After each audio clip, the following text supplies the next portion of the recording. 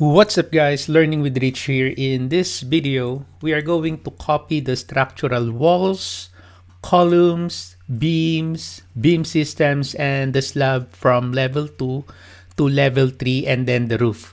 And then after that, we are going to edit the slab on both level, on level 3 and then the roof to complete the structure okay? Because as you can see here obviously we only have our structure up to level 2 so we're going to do also our 03 floor and then the roof. So let's get started. So what i'm gonna do is i'm gonna select this wall here click and then after that right click and then let's select select all instances visible in view. So you select that one and then it will also select the area here. Now the next thing that we're going to do is we're going to extend this up to the roof level. So from the instance properties, we're going to change here the top constraint. So I click the drop down arrow and then select here roof level. Okay, up to roof and then apply and there you go. So it's now extended. Okay, so now the next thing that we're going to do let's open up the 02 floor. And then we will be using here a window selection. And then after that we're going to use filter. So let's use a window selection like that. Window selection. Like that. And then after that so we are going to use the filter tool to filter our selection. So we do not want to copy the grids the shaft opening, and then walls. Okay, and then the rest, these are the elements that I would like to copy. Okay, and then after that, select OK. Alright, so after you select now the elements that you like to copy, so let's now select here, copy to clipboard, or you can type, or you can press Control C, copy to clipboard, and then the paste, drop down, so you can now select here align to selected levels. Just click that. And then we're going to copy that on 03 floor and then hold control to include the roof to the selection. So you click the roof so that you have the 03 and then floor. Okay. Right. And then after that, select OK. Okay, so it's still uh, loading. After that, we are going to check the 3D view.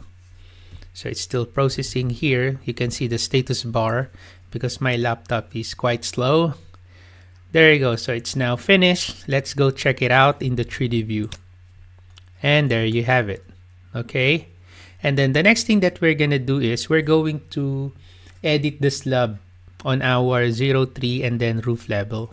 Okay. So obviously we do not want this this shape here on our 03 floor and then on our roof floor. So we're going to remove this shape and then on our roof level, so we are going to close this area here. We don't want to have an opening there and this area here. So we're going to edit the roof. So let's edit first the 03 floor. Double click 03 floor. And then after that, we're going to select the slab. So let's click the slab and then edit boundary.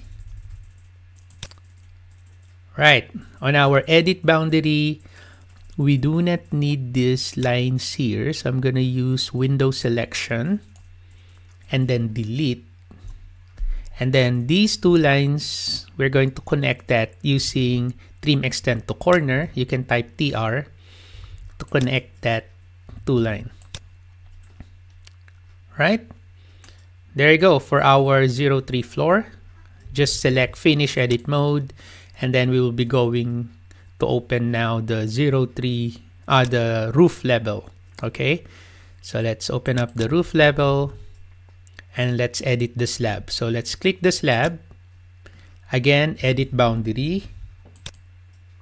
Okay, and then let's select those lines and then delete that. And then again, we will be using trim extend to corner. Let's click the two lines that we like to connect. There you go. And then after that, like what I have said in this area, we're going to close that. So I'm going to select modify to terminate my trim tool. And then I'm going to select these two lines here and then delete. And then let's use trim extend to corner. Let's that, connect. Let's do that as well on our southeast area. So modify to terminate the tool and then use window selection to select the two lines and then delete. Then after that, trim extend to corner tool and then you click the two lines that you would like to connect. And there you have it. Then after that, finish edit mode. Okay, then just click outside and then let's open up the 3D view. Zoom out and there you go. Let's select the home button here from the view cube and there you have it. So we just extended the structure all the way to our roof by simply using copy, paste, and then editing the boundary. So hopefully you learned something from this video. Thank you for watching. Have a nice day.